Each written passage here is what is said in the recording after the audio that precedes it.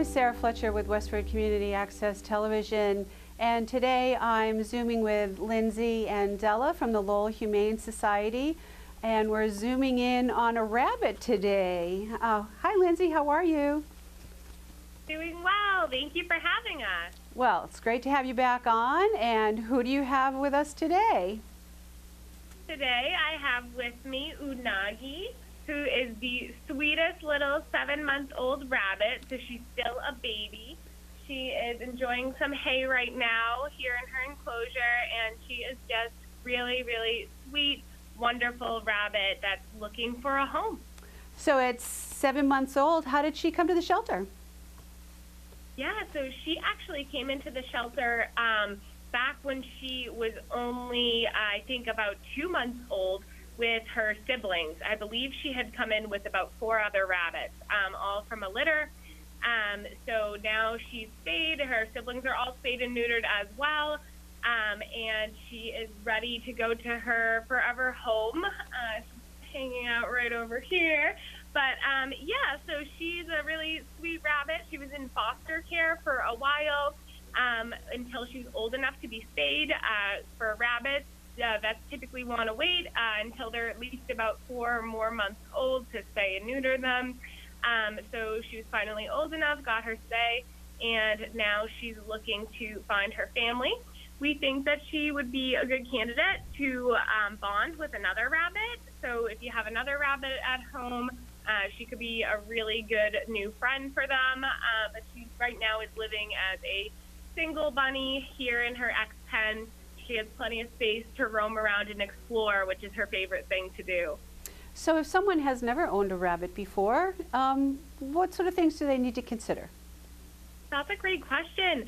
So if you've never owned a rabbit before, but you're considering it, they make excellent pets, and um, I would definitely recommend.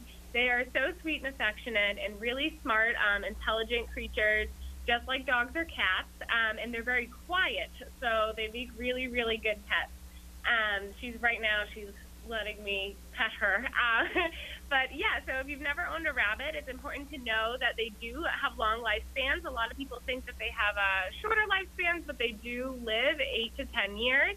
Um, and they do require yearly checkups, so all pets should really see a veterinarian uh, once a year at least for their annual checkup.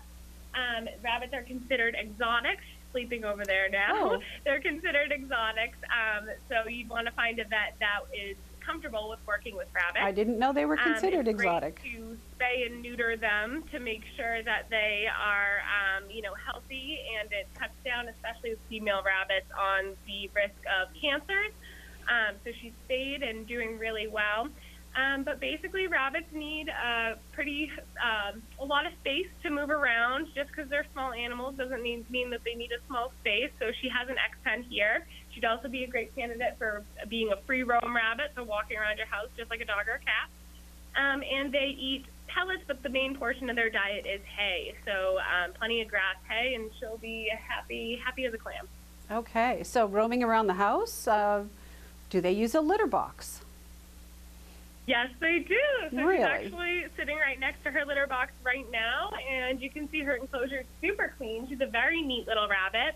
Uh, rabbits are very meticulously clean animals. Um, so they can be litter box trained, just like a cat, um, but their litter box is typically filled with hay and newspaper instead of cat litter. Um, but they're yeah, they're very clean animals, uh, and she, she uses her litter box really well right now. Okay, and I have heard that they like to chew on wires and things. Is that a concern? So rabbits have teeth that continuously grow. Their teeth never stop growing, so chewing is a really important part of their routine. So providing them with plenty of toys to chew on, like cardboard, lots of hay that wears down their teeth, um, hay balls made out of Timothy hay, lots of things to chew on is important. Um, and rabbit proofing your home, if you are going to have a free roam rabbit, is really important. So just covering anything that you don't want chewed. Some rabbits chew more than others. Um, she's really sweet, not not a huge chewer, but it's definitely important to protect your things and your rabbits. Um, and other options are having like an X pen enclosure, just like this one, where she has plenty of space, but everything in there is nice and safe for her.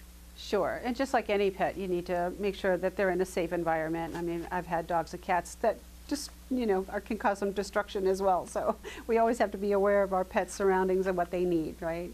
So if someone wants Absolutely. to if someone wants to meet her, how does how do they get in touch with you?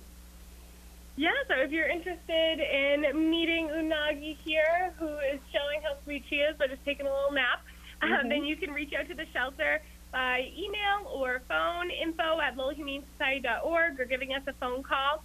Um, or you can stop by during our open hours. We are available um, for visitation Tuesday through Sunday from noon to 4. Okay, and you're located at 951 Broadway Street in Lowell. Yes, exactly. And the number is 978 452 7781 if so- you'd like to call up and make an appointment to meet Unagi. Thank you, Lindsay. We'll see you Thank again you. next time.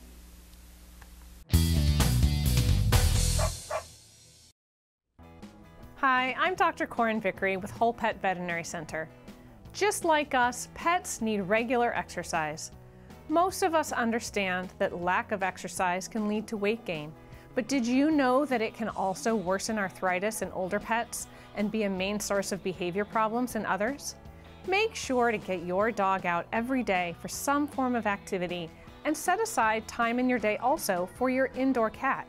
Options for exercise include walks, runs, fetch games, hide and seek games, nose work, active toy play, or chasing games. Make sure your pet's exercise program is right for her.